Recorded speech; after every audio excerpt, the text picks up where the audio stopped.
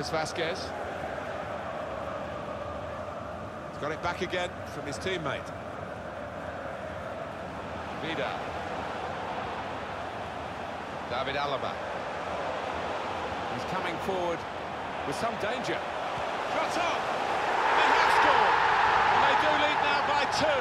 And they've worked very hard for this. It should get them across the line at the end of the match, we'll see. He took it with great aplomb, I'm sure getting the first goal gave him the confidence to grab the second chance here.